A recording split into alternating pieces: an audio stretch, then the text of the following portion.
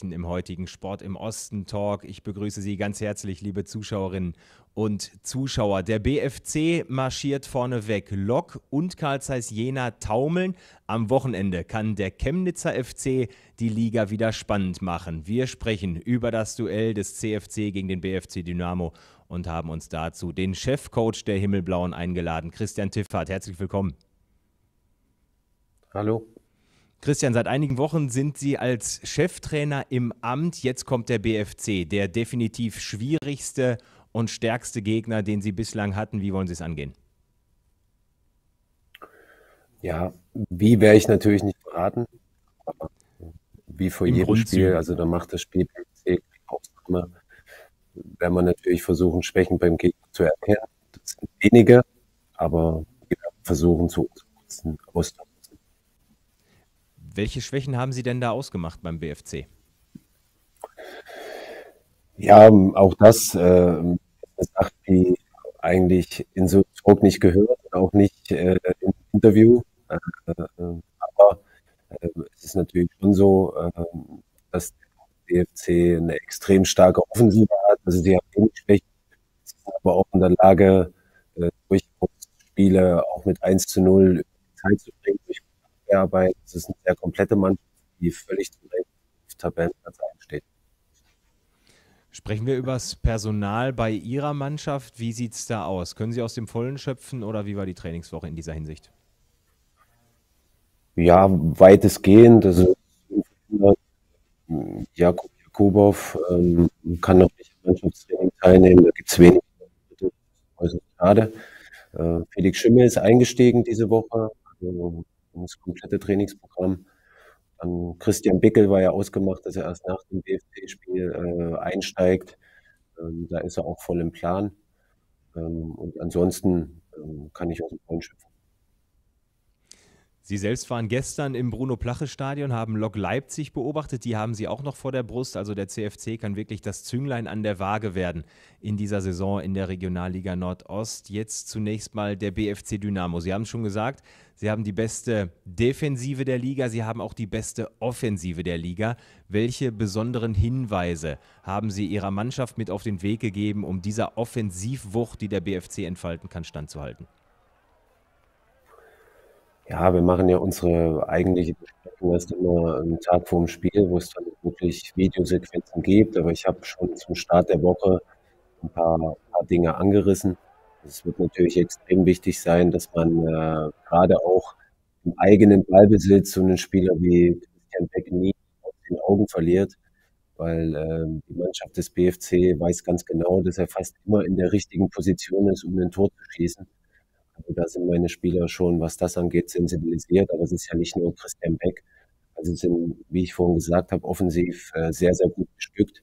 Ähm, auch wenn man das Durchschnitts sieht, eine sehr, sehr erfahrene Mannschaft, die ganz genau weiß, wie man Spiele gewinnt. Und das wird äh, eine extrem harte Nuss. Aber äh, nicht nur der BFC ist gut drauf, äh, wir sind auch gut drauf. Und äh, wir können Spitzenspiele gewinnen, wir können starken Gegnern gefährlich werden. Das werden wir versuchen, äh, am Samstag unter Beweis zu stellen. Wo wir gerade bei Ihrer Defensive sind, machen wir einen kleinen Exkurs. Einer Ihrer wichtigsten Leute in der Innenverteidigung, Tim Kampulka, Chemnitzer Eigengewächs, steht für richtig Identifikation. Er soll, so war es gestern zu lesen, mit dem Hallischen FC in Verbindung stehen. Zumindest soll der HFC ein Auge auf ihn geworfen haben. Hatten Sie schon mit ihm darüber gesprochen? Planen Sie mit ihm oder wie ist da der Stand? Ja, gesprochen haben wir darüber nicht, weil äh, ein paar Jahre war ich auch im Profifußball unterwegs. Ich weiß schon, dass solche Dinge nicht unnormal sind, dass gute Spieler auch im Gespräch sind bei unserem Verein. Also das ist jetzt nichts Unnormales und nichts, worüber ich dann äh, äh, mit meinen Spielern äh, sprechen muss. Also ich habe nicht den Eindruck, äh, dass Tim Kampulka schon bei einem anderen Verein ist. Dazu kommt, dass man auch nie weiß, äh, solche Dinge äh, zustande, wer hat das vielleicht in die Welt gesetzt.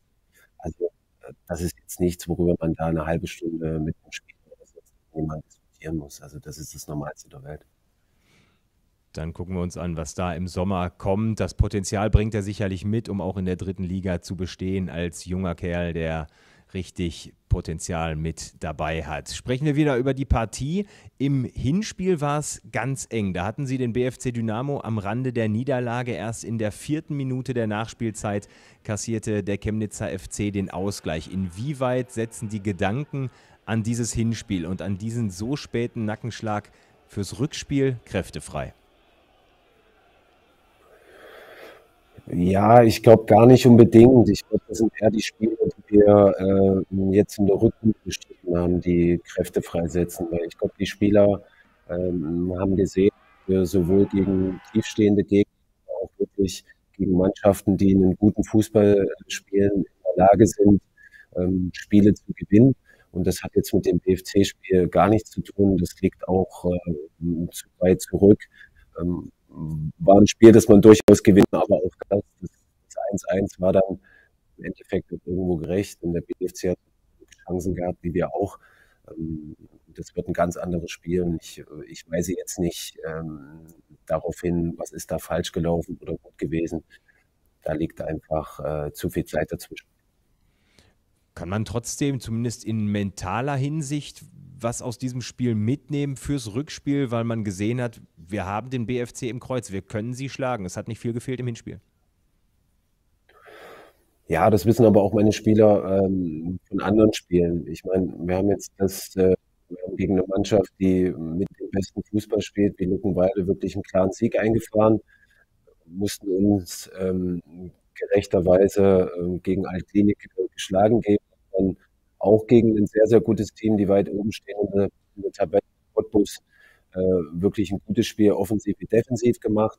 Also das sollte den Spielern äh, Mut geben. Wir waren in äh, allen Spielen, wenn es um Mannschaften geht, die, die oben stehen, immer nah dran, außer jetzt Altklinike. Ähm, es waren Niederlagen, die knapp waren, es waren unentschieden.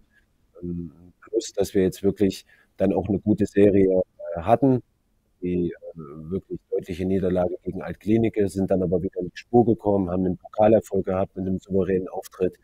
Also all das zusammen äh, sollte meinen Spielern Mut machen. Nochmal, wir müssen das absolut respektieren. Ich habe gesagt, das ist der Spitzenreiter, der das völlig zu Recht ist. Aber ähm, ich sehe jetzt in dem Spiel ähm, keinen Favoriten. Jetzt haben wir viel über diese Partie gesprochen. Werfen wir den Blick nochmal aufs große Ganze beim Chemnitzer FC und bei Ihnen persönlich. Sie haben vor einigen Wochen als Cheftrainer übernommen von Daniel Berlinski. Wie ist jetzt Ihre aktuelle Stellenbeschreibung? Sind Sie noch Interimstrainer oder schon Cheftrainer? Und vielleicht noch wichtiger, wie geht es darüber hinaus weiter über die Saison? Ja, ich weiß nicht, ähm, als was ich bezeichne. Also ich habe aktuell zu verantworten. Von daher gehe ich davon aus, dass ich jetzt nicht Interimstrainer, sondern eher Cheftrainer genannt wird. Aber auch das, das äh, spielt für mich ähm, gar keine Rolle. Äh, wir haben vor einem Monat gesagt, ähm, wie der weitere Ablauf für mich sein wird. Daran hat sich nichts geändert. Ich bin jetzt ähm, einen Monat dabei. Der Verein ähm, wollte mir irgendwo eine Möglichkeit äh, einräumen und eine Chance bieten, äh, mal zu zeigen, wie ich in dieser Rolle als Trainer äh, agieren kann. Und alles weitere ist ja Sache der Vereinsführung, also nichts, was ich wöchentlich oder täglich äh, kommentieren muss. Das heißt aber grundsätzlich, wenn es nach Ihnen geht, möchten Sie gerne auch über die Saison in dieser Funktion weitermachen und den CFC vielleicht dahin führen, wo der BFC aktuell steht. Ja, ich habe ja nie ein Geheimnis draus gemacht, dass ich extrem gerne äh, bei dem Verein arbeite. Aber nochmal, Fußball ist kein äh, Wunschkonzert. Ich kann jetzt hier Wünsche äußern, ja, ich will so und so lange bleiben und so und so viel Saison Cheftrainer sein. Das habe ich ja letztendlich äh, nicht zu entscheiden. Und Fußball ist ein Ergebnissport, das weiß ich. Es zählt manchmal wenig, was man so unter der Woche macht. Wenn die Ergebnisse dann nicht stimmen, dann äh, ähm, ergibt sich das meiste von selbst. Aber stimmen die Ergebnisse, ergibt sich auch das meiste von selbst. Und ähm, ähm, ich, beziehungsweise ich mit meinem Trainerteam in der Mannschaft, wir können daran arbeiten, dass wir gute Ergebnisse haben und alles weitere wird man zu gegebener Zeit sehen. Dann sind wir gespannt, ob Sie vielleicht schon am Wochenende gegen den BFC Dynamo weitere Argumente sammeln können. Christian Tiffert, vielen herzlichen Dank. Schöne Grüße nach Chemnitz. Dankeschön. Also der CFC will dem BFC ein Bein stellen und somit Lok Leipzig und dem FC Karl Zeiss Jena wieder die Möglichkeit geben, vielleicht doch noch ganz vorne anzugreifen und den BFC Dynamo noch abzufangen. Das Ganze sehen Sie am Sonnabend live bei Sport im Osten ab 14 Uhr Chemnitz gegen den BFC. Wir sind gespannt, wie es ausgeht. Wir sind gespannt, ob der Aufstiegskampf nochmal richtig Fahrt aufnimmt. Bis dahin genießen Sie die Woche und dann sehen wir uns Samstag. Ciao.